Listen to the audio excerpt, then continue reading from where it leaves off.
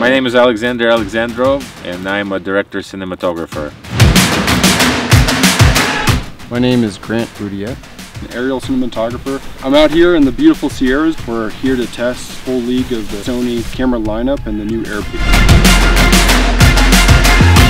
A couple of years ago I shot a film on Sony Venice. I loved the camera, its color science, the look of skin tones, built-in NDs, recording codec. Rialto is a Venice module I usually don't go without on the shoots where camera needs to be very compact.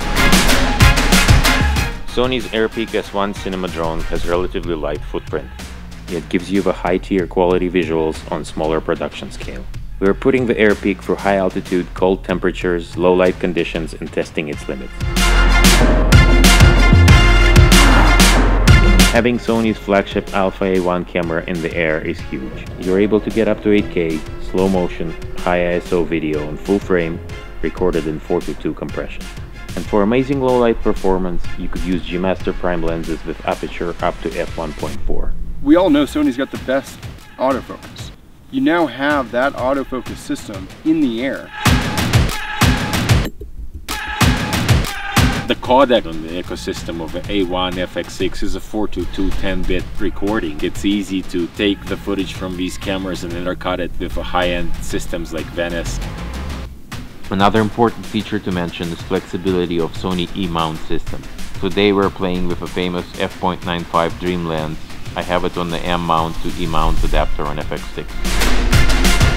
You have camera sensors on every side of the drone, top, bottom, left, right, front, and back.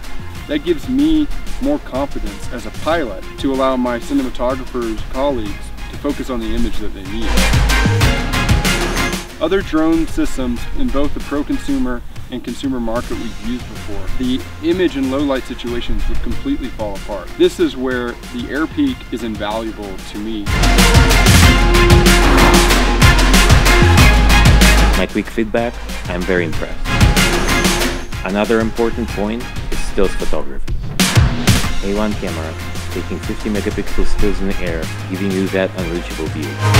I feel like paying homage to Ansel Adams, now in modern day with Sony's technology in our hands. I can use these tools in various size projects, from large-scale commercials and films to more personable ones with less resources that often produce unique visuals.